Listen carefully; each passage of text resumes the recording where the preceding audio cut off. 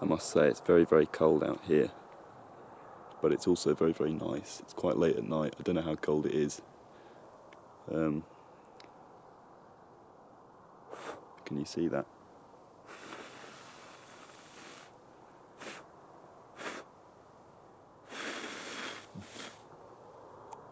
Oh, that's fucking lovely.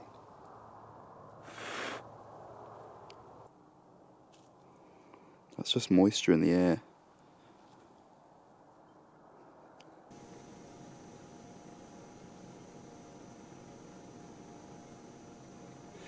Silly joke.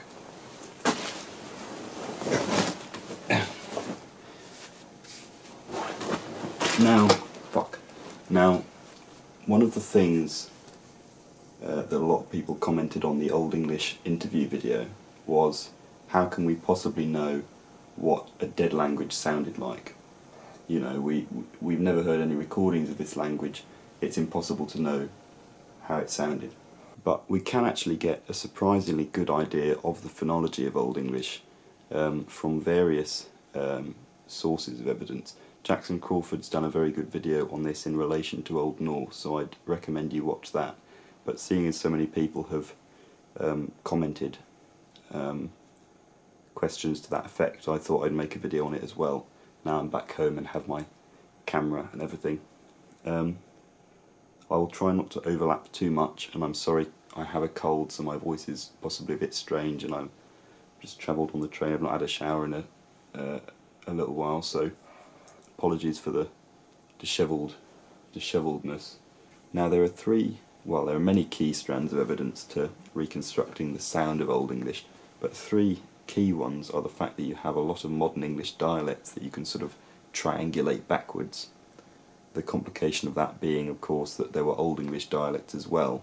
We're not thinking of one homogeneous entity, so you, you can't necessarily triangulate all modern English dialects back to one Old English dialect, but but it's it's helpful to have modern English dialects, modern English phonology.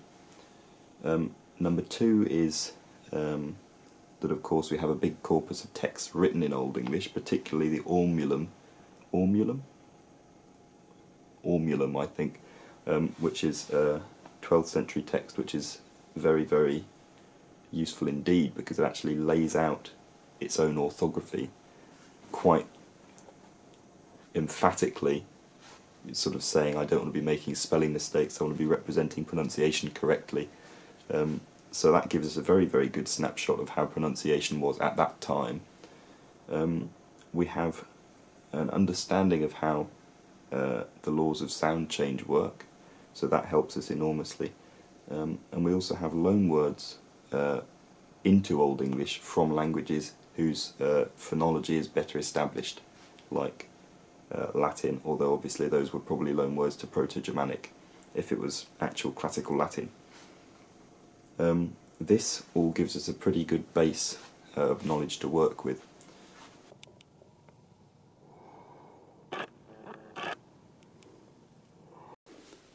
I thought that waiting for the next night and filming it again might um, cure me of my cold and make me less tired, but it's not happened. But notwithstanding this, a good base for reconstructing the phonology of Old English is uh, the phonology of Classical Latin. Because obviously, when Old English started being written in um, the Latin alphabet, they would have used similar values to the Classical Latin values. They wouldn't have picked random values for the letters.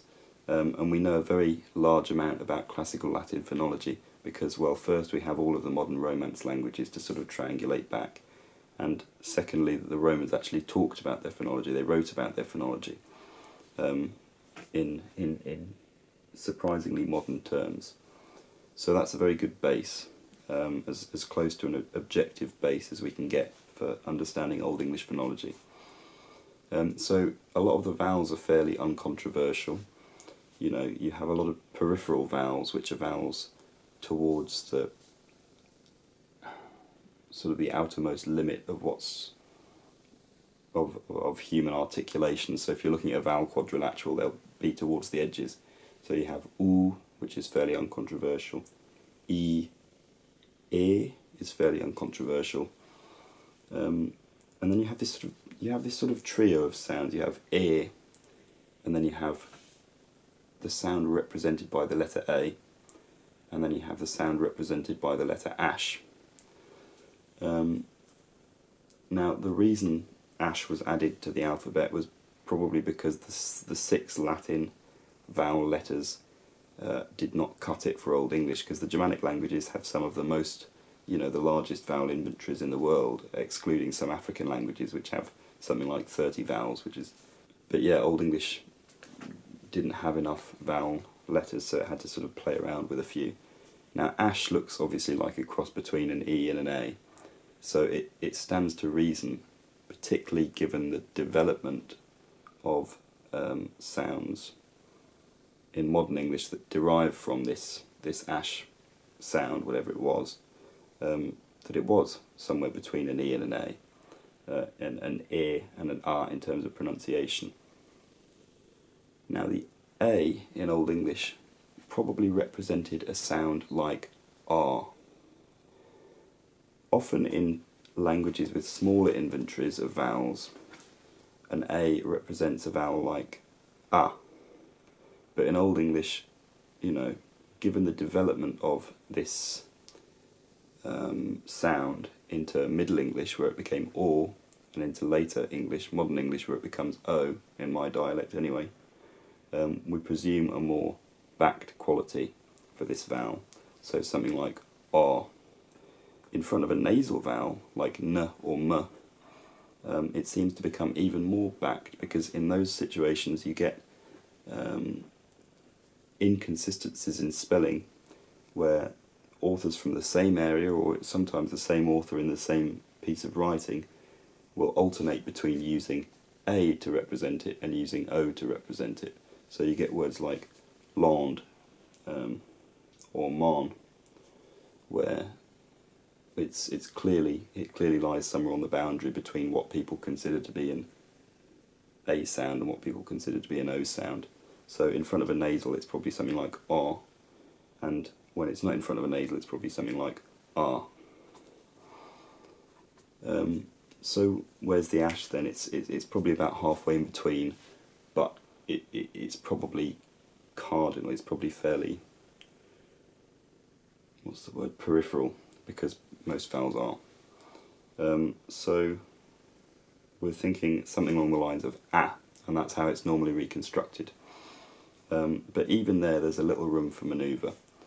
Um, Old English made a distinction between uh, long and short vowels and it might be that the short version of this sound was not the same uh, in realization as the long version of it. So the short version went on to become a in modern English, so habbon became to have. Um, but the long version of it went on to become air in Middle English and then e in modern English, so met in Middle English and then meat in modern English is in the stuff you eat. Um, so it might be that in Old English it was mat and had pretty much the same value as the, the short version, or it might have been that it was met, like in Middle English. Um, it's not it's not clear. It's, it's something that we can't really determine from writing, just because again there aren't enough vowel letters to delineate the the. Um, is delineate the right word? To to split up the the spectrum that is the vowel inventory uh, in that way. It might be that oo and e and e also had differing short and long um, realizations. Um, like in modern English, you know, you have oo and u, you have e and i. These have slightly different vowel qualities from short to long. Um, but there are plenty of dialects of English where the pairs do not have differing vowel qualities, so I tend to, if I'm speaking Old English, I tend to just go for the same vowel quality for short and long. E, E, U, U, E, E. Um, but it could be, could be that this wasn't the way they pronounced it, and of course you'd have regional variation as well. One question I've been asked a little bit in person is, would they have said the W sound like a V? as a German person, you know, you know, in German, the w in English generally corresponds with a v in German, so water to Wasser. Um, so would Old English people have said v? Um, and the answer to that is no, they would not. I mean, there might have been some tiny fringe dialects that weren't recorded, but but but aside from that, you know, in general, no, they wouldn't have said v. They would have said w.